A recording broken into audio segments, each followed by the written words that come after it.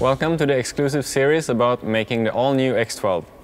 My name is Alexander Hagberg and I'm excited to show you what it takes to develop, design and produce a completely new car here at the XRAY factory.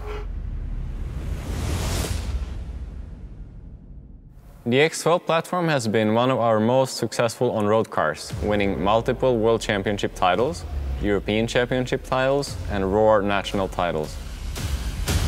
In recent years, we continue to refine and update small details of each car, making the X12 faster and more reliable, but with no major changes to the design concept. In 2019, it was XRAY drivers Jason Cheng and Max Kuning from RC America who presented the idea of a simplified front end that was both efficient and more durable.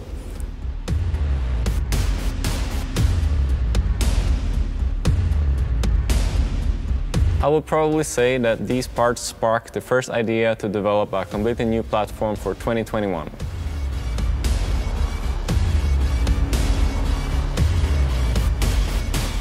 Our goals were clear. We wanted to develop a car that was stronger, faster and easier to work on. We wanted to redesign the car to make it as tweak-free as possible. And finally, the new car needed to be suitable for a rear solid axle, the new trend in the 112 class.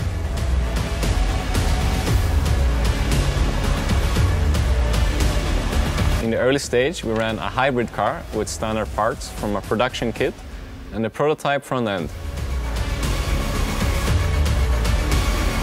Cheng and Kuning were running the car at most of the US races on high traction tracks, and I used the early prototype to win the 2020 Snowbirds Nationals as well as the European Championship.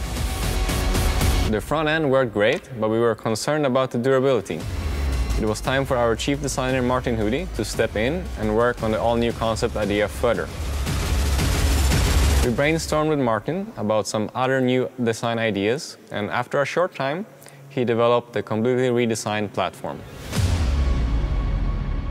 The first concept ideas were turned into physical samples with a 3D printer so we could experience and feel the real product in hand and to see all the details in reality.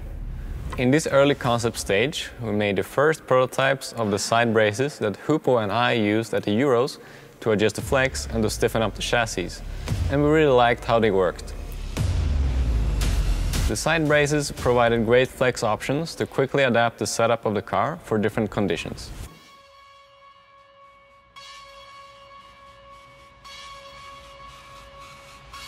Most of the development and testing was with the front end where we tested probably a dozen different single arm designs, looking for the best compromise between strength and flex. There was a lot of back-to-back -back comparison testing on the track until we found the design that we liked the best and all the remaining designs went into the archives. Another part we tested that did not make the final design was an upper camber brace. This brace concept was supposed to adjust the camber by changing to different braces. But we did not like it because it raised the CG and the reliability was simply not there. To make the steering system more bulletproof, we came up with a unique design to integrate the camber directly into the kingpin. This idea would ensure no change to the camber setting after a crash. The first idea was to integrate this new kingpin into the standard steering block, which meant continuing to use a 3mm kingpin. But after several tests, we wanted to try a larger kingpin and change to a 4mm size that also required new springs and a redesigned steering block and mold.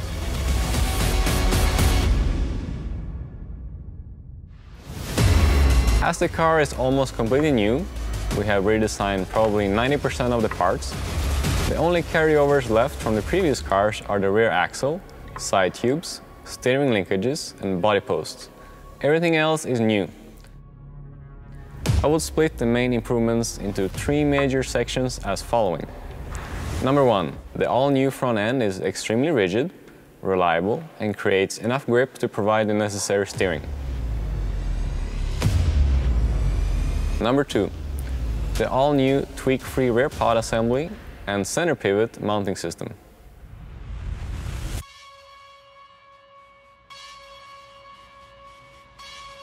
Number 3. The new chassis side braces with multi-flex settings.